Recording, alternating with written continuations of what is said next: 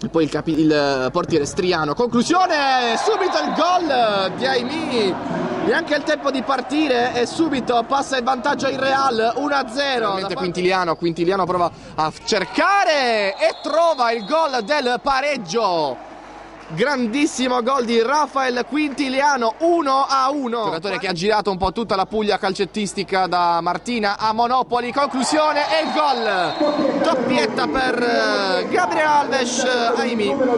Tutto troppo semplice per lui. Eh, si va sul 2 a 1 per il Real. Adesso si capirà se la scelta di Manfredo di andare fuori sarà anche determinante per questa gara. Eccolo qui Gaston Bueno, eccolo qui, aspettava il pubblico molfettese per andare in gol e sigla il gol del 3 a 1. A farlo nei migliori dei modi, c'è stato spazio anche per Ceci, Giancola mette dentro, si fa subito vedere ed è il gol che vale il 4 a 1.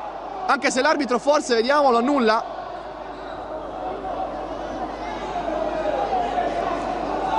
Sì, lo annulla, forse secondo l'arbitro ha toccato con una mano. Altervera. Eccolo qui di Benedetto, destro. Tutto troppo semplice per il destro. Buon tentativo ed eccolo qui il gol di Giancola che scarica tutta la sua rabbia su calcio d'angolo. Stavolta non c'è regola che tenga. Arriva il gol del 4 a 1. Di... Il tocco per Quintiliano. Quintiliano che va con il destro. Autorete 4 a 2 di Benedetto. Mette una gamba sulla deviazione Eccolo qui, Aimi! Ed è la tripletta per lui.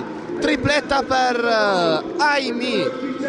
Adesso sigla il 5 a 2. Il gol di Bueno e quello di Giancola. Un gol annullato proprio all'indirizzo di Luigi Giancola. E termina qui questa quindicesima giornata con Vitale e compagni che esultano e ringraziano anche i tifosi che sono ritornati a popolare la tribuna del Palapoli di Molfetta Real che conquista i tre punti e consolida la seconda piazza.